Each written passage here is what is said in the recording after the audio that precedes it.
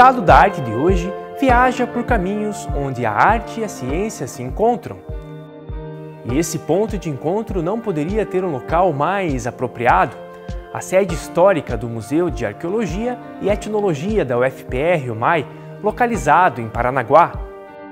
Com as dificuldades dos tempos da pandemia, nós vamos conhecer a primeira exposição na sede histórica do MAI depois dessa fase de isolamento, que traz uma faceta inusitada de um grande personagem do Paraná, o Frederico Lang de Morretes.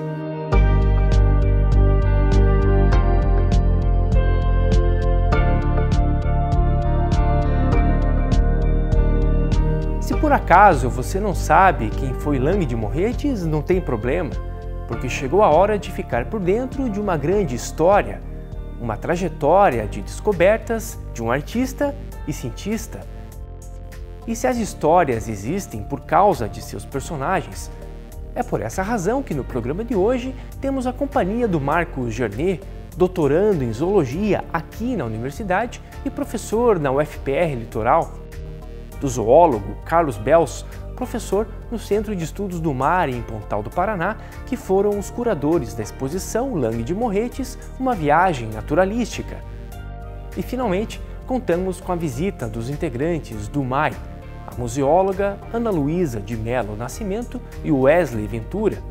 Eles vão trilhar esse lado pouco conhecido do artista plástico Lang de Morretes como um naturalista, ou melhor, como um malacólogo, a ciência que estuda os moluscos, mas tudo começa com o Frederico Lang de Morretes. O Lang, na verdade, ele teve a parte da juventude dele foi muito ligada à natureza. Então, como ele nasce no município do Morretes em 1892, esse Morretes já é uma, uma localidade belíssima, totalmente ligada à natureza hoje. Imagine o que não era no século XIX. Então, ele nasce em Morretes e dos dois aos nove anos de idade ele vai morar na famosa casa do Ipiranga famosa e saudosa Casa do Ipiranga na Serra do Mar. O Lang de Morretes sempre foi muito conhecido como artista plástico, né? como pintor, trabalhou escrevendo, trabalhou fotografando, ele era um cara que muito voltado para essa linha é, artística, né? que é o que ele é bem conhecido. Mas pouca gente sabe que ele foi um importante malacólogo. Agora, essa relação minha com o personagem Lang de Morretes, ele surge exatamente em 1993. Foi justamente no momento em que eu fui estagiar, quando aluno de biologia na Universidade Federal ainda, eu fui fazer estágio no Museu de História Natural do Capão da Imbuia, em Curitiba. É um lugar que eu tenho um carinho imenso. E fui trabalhar na coleção malacológica do Museu do Capão da Imbuia, né? que é a coleção de moluscos do museu. E nessa coleção eu tive o privilégio de conhecer o acervo particular, parte, né? uma pequena parte do acervo particular do professor é, Lang de Morretes, do Frederico Lang de Morretes. E daí nessa coleção eu acabei me interessando por esse personagem, fui atrás de mais informações e descobri que ele era um importante artista plástico, né? um importante pintor da história do Paraná, um aluno do, do Alfredo Andersen, que era o pai da, da, pintura paranaense, foi um dos personagens principais na criação da, da, dos estigmas, né? das imagens do, do paranismo, junto com João Turim, Teodoro de Bona, enfim, todos esses personagens importantes da história do Paraná. E naquele momento eu descobri que ele também era um importante pesquisador, cientista, né, um importante malacólogo. Agora que conhecemos mais sobre quem foi o Lang de Morretes, fica um pouco mais fácil entender essa imersão dele pela zoologia e pela história natural. E os professores Carlos e Marcos dão mais detalhes curiosos desse caminho do Lang de Morretes pela malacologia. É, o Lang ele, ele, ele, começa as coletas dele, ou seja, o registro histórico das coletas dele dentro da malacologia, elas datam de 1922. Então nós temos aqui, inclusive na exposição, nós temos o livro tombo original do Lang de Morretes, que é justamente esse livro, esse documento de registro de coletas, onde tem as espécies coletadas com as datas, as localizações, as pessoas que participaram dessas coletas, né? Então esse livro tombo é um documento importante de, a partir desse registro.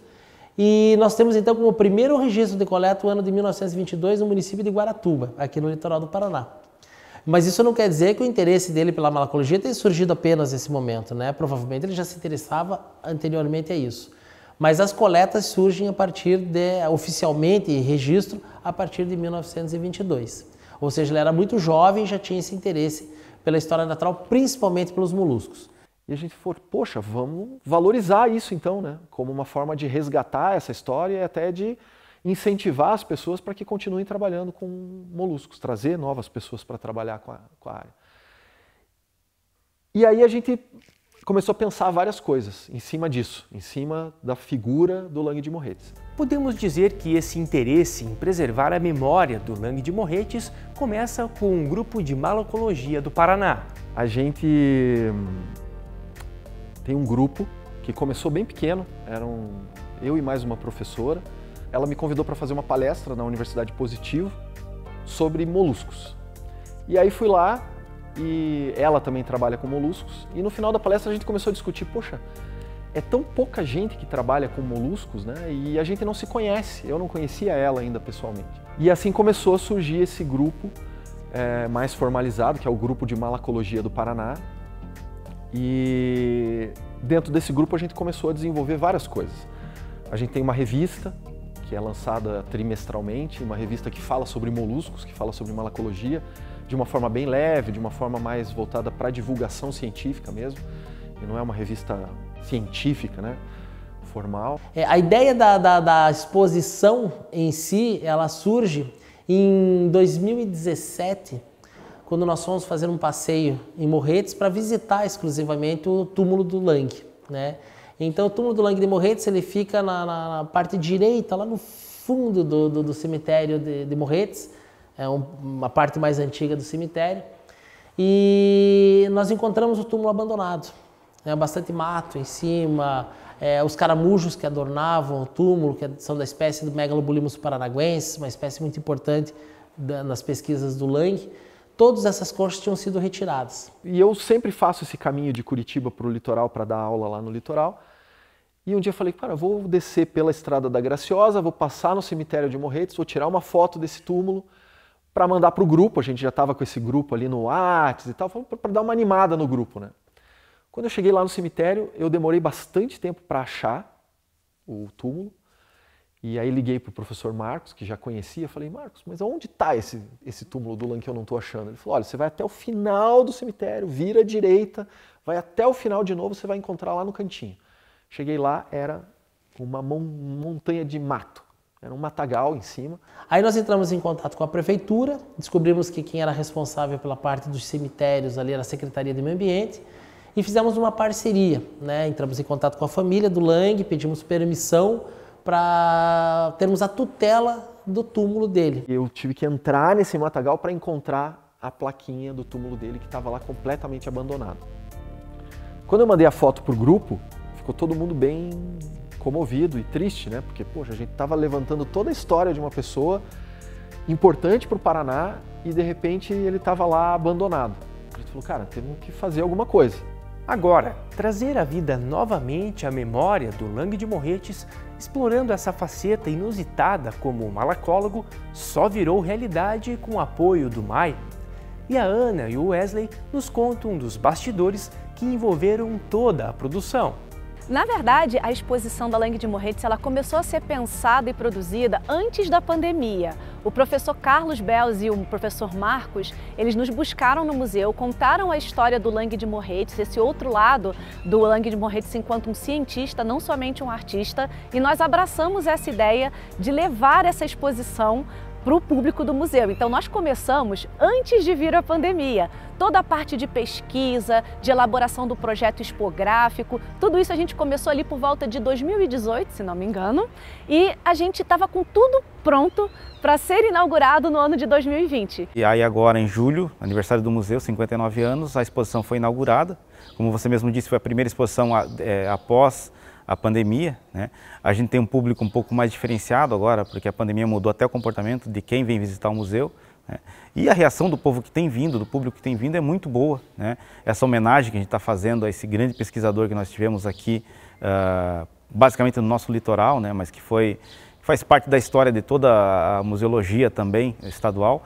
E a gente mostra isso como essa homenagem, essa importância preserva da preservação e do entendimento do que é ciência. Né? E as reações têm sido muito boas, as respostas que a gente tem tido são muito boas também a respeito da exposição. A gente tem uma média aí de, de entre 1.500 e 2.000 pessoas mês visitando, então estamos chegando nessa, nesse número aí, 5, 6 mil pessoas que já passaram por ali, né? E o que a gente tem recebido de resposta, de retorno, são sempre retornos muito positivos. Então foi realmente uma ansiedade muito grande, porque era um sonho é, é, fazer essa exposição. É uma exposição que, modéstia à parte, ficou belíssima, né? que conta essa, um pouco dessa história, uma espécie de linha temporal, né? desde o começo da exposição até o fim dela. Então, realmente é, é para mostrar, e, a ideia da exposição é justamente mostrar essa, essa imagem do, do Lang de Morrete, cientista, malacólogo, naturalista, né? para desviar um pouco o olhar dele apenas como artista plástico, apenas como um personagem importante dentro da história do Paranismo. Mas foi realmente um, momento de muita ansiedade e muita diversão, porque no momento que foi liberado para nós fazermos, é, é, realmente montarmos a exposição, foram duas semanas de trabalhos intensos. Mas para estar tá aí o resultado que ficou belíssimo. A interação com o Maia, nossa, foi incrível, né? Porque eu e o Marcos, nós temos a experiência como zoólogos, como malacólogos, né? Como quem está trabalhando na área de pesquisa da malacologia. E embora a gente goste muito de história, nós não somos historiadores, nós não somos museólogos, nós não somos curadores com experiência. Foi uma interação que eu não tenho nem o que falar. Assim, se não tivesse sido a equipe do Mais junto com a gente, não teria saído.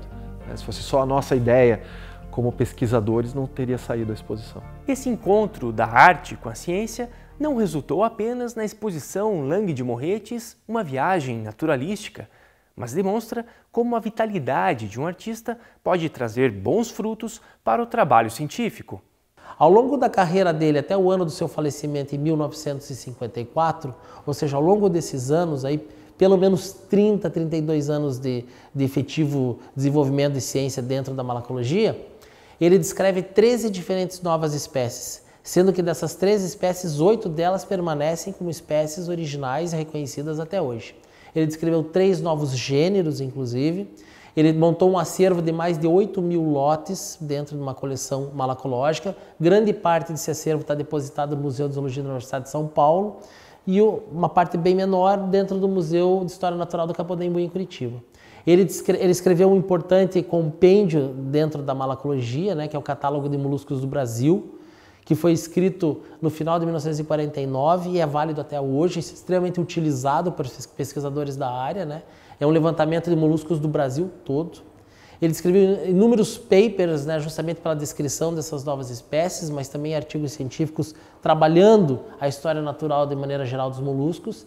Então ele foi realmente uma pessoa muito importante em termos de contribuição científica dentro dessa área e especialmente a relevância do trabalho científico do Lang de Moretti na área de malacologia, que é o estudo das conchas, nós no museu olhamos e falamos, nossa, mas isso tem muita relação com o nosso acervo também. Muita gente não sabe, mas grande parte dos sítios arqueológicos do Paraná são sambaquis, e sambaquis são constituídos basicamente por conchas, por conta justamente do acervo do nosso museu. Inclusive, junto com a exposição Lang de Moretti, nós ainda temos a exposição entre conchas. Então, na exposição entre conchas, as pessoas vão poder ver algumas das espécies, como por exemplo a Megalobolinos, que é uma espécie que é descrita pelo professor Lang de Morretes e que está na exposição de arqueologia. Então acaba conversando muito com o acervo do museu também. E vocês? O que acharam da nossa viagem pela história natural seguindo os passos do Lang de Morretes? Diz aqui pra gente nos comentários. O Estado da Arte vai ficando por aqui e até a próxima!